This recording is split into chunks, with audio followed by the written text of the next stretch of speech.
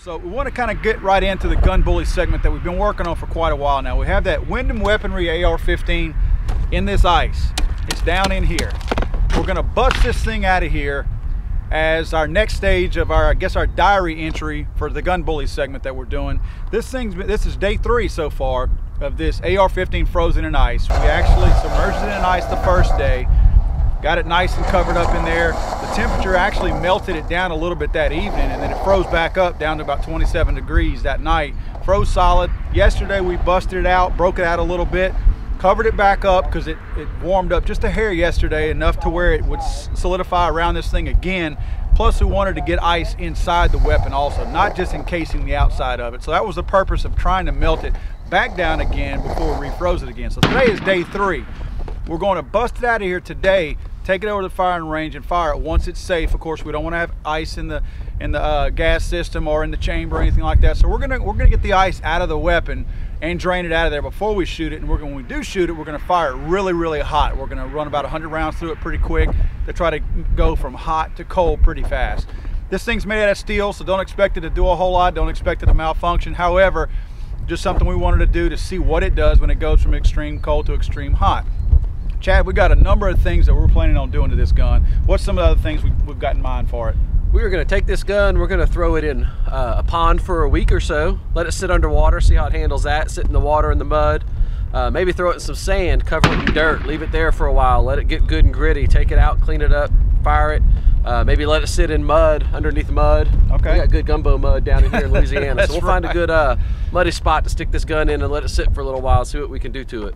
Well, that sounds good. I guess what we'll do now is we're gonna go ahead and bust this thing out of here. We've got our trusty little pick and hammer that we're gonna get it out of here with. And uh, Chad and I are just gonna disassemble this ice, bring this thing over there. We don't wanna necessarily thaw the gun out, but we don't want any ice in the gas system or the chamber or anything like that. So we have to get it somewhat thawed to a certain degree to get the, the ice liquefied to get it out of there so we can fire the weapon. So we're gonna get started on that. We then took our time to get the block of ice out of the tub that had the AR in it. And then we went to town. Temperatures outside were still in the upper 20s, so it wasn't like we were dealing with a fast thaw here. We actually had to break the weapon out of the ice ourselves. As we got closer to the weapon, we had to slow down and be a little bit more careful about how we chipped away at the ice. We didn't want to damage the weapon itself. Now that we were this close, it was time to take a little bit more care to fine tune and get the ice off of the weapon.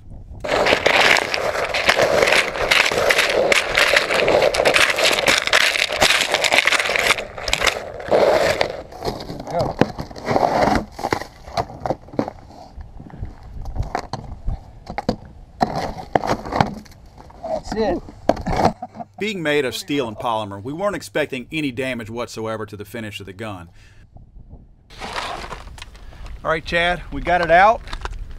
Um, not sure if you can see this. I'm gonna try to get a close up here. See, it's got ice all in the barrel. Uh, it's frozen solid in there. Um, I doubt that this is gonna do any good to try to, yeah, it's, it's frozen solid here. So yeah, I'm not even gonna be able to look at the inside the gun in the chamber. We're gonna uh What's up in the magazine? Yeah, got ice all in the magazine well. So uh we're gonna try to get all the ice out of it. Follow those particular pieces of it. And then we'll uh free this thing up, take it out to the range and shoot it. Uh, didn't take but a second to thaw it out. We haven't done anything to it. We haven't even wiped off the uh, condensation or the sweat from the ice. Um, we definitely haven't oiled it. Remember, we haven't even cleaned this thing yet. Uh, we've shot, I think, 125 total rounds through it. Five original when we got it, uh, just to get a, an idea of how accurate it was and where it was going to fall, so we have something to compare it to. And then 120 rounds of steel case ammo. So we're going to go ahead and run another 120 rounds of steel case ammo through it today again without cleaning it and see how it shoots.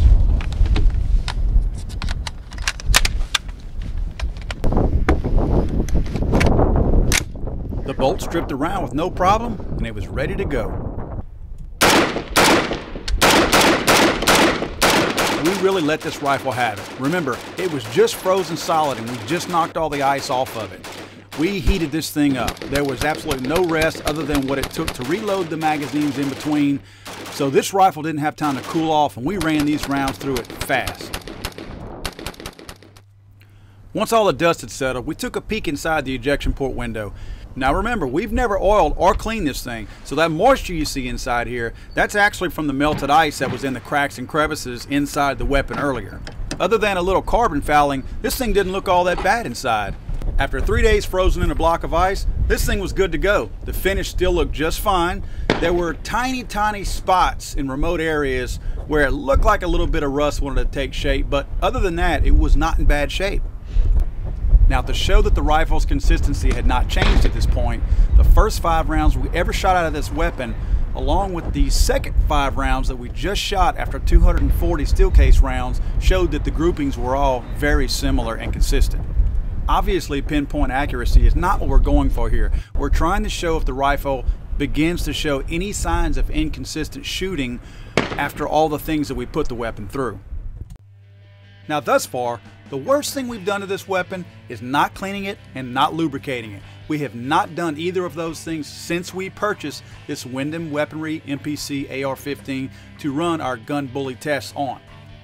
The heating up of the barrel immediately after thawing it out of a block of ice does not seem to have affected the weapon in any way either.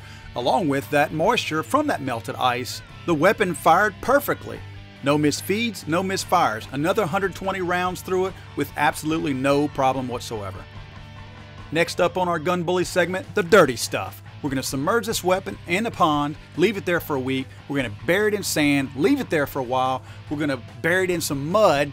We're also going to quote unquote oil it with a mystery substance that a lot of people out there seem to think is good to lubricate a firearm with, and it absolutely is not. Oh, and we're still not cleaning it. I like to picture Jesus as a ninja fighting off evil samurai.